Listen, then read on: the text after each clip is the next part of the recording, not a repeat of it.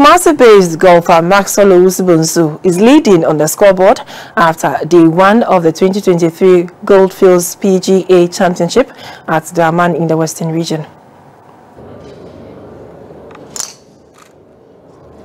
This is Kumasi-based golfer Maxwell Owusu-Bonsu. He's currently leading the scoreboard on day two of the ongoing 10th edition of the Goldfields PGA Championship. He is among 42 golfers battling for a whopping 80,000 cedis on the greens of the Damang Golf Course.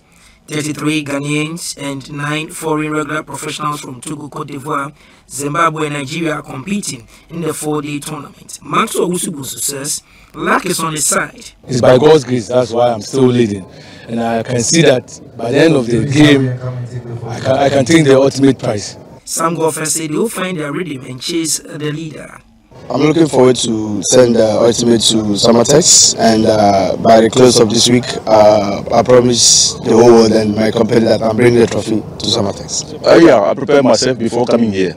So I feel my my shots, uh, I feel my swing. So that's why I say I can win this game. I played very bad yesterday and today I came back in a little bit but I have more than to play. So I'm still um, the way forward to do more pass and birdies to stay in the game. The tournament director for PGA Ghana, Kwesi Prempeh, says he expects notable names including defending champion Kojo Bani, Vincent Toga, Amos Kobla, Loki Issa, and Francis Toga to come to the party. See the scores yesterday, you see the golf course is in good shape and the players are paused because of the tension, the, the kind of money that is at stake.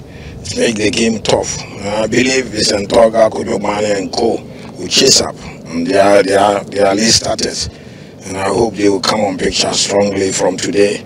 It's a four-day tournament, so un unless there's 72 hole, you cannot predict the winner. Meanwhile, in the special ladies category, Constance Awuni is leading the pack. Mercy Felicity Chejiabo, and Jessica follow in that order.